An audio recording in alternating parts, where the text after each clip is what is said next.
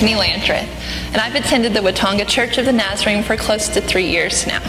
I consider this place my second home, and I consider all of you my family. My kids go here, they're loved here, and they're ministered to here. My husband and I have found a place where we can serve God and serve our community. This past year, I was called on in a new way. I was voted onto the church board. This has been such an honor for me, and it's been a really exciting role.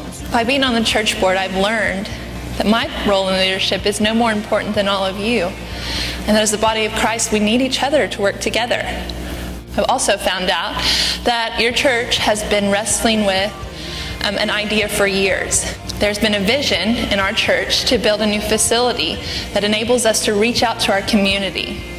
The original plan for this building looked a little something like this, where the east side of our church would serve as a community center.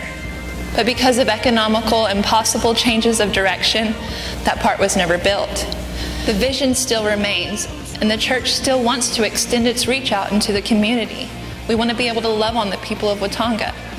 Today, we feel like the season is right for us to have a conversation about expanding our facility and reaching out our, to our community.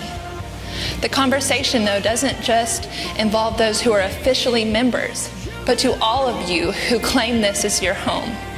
We need your prayers, we need your participation, and we need you to be a part of the conversation.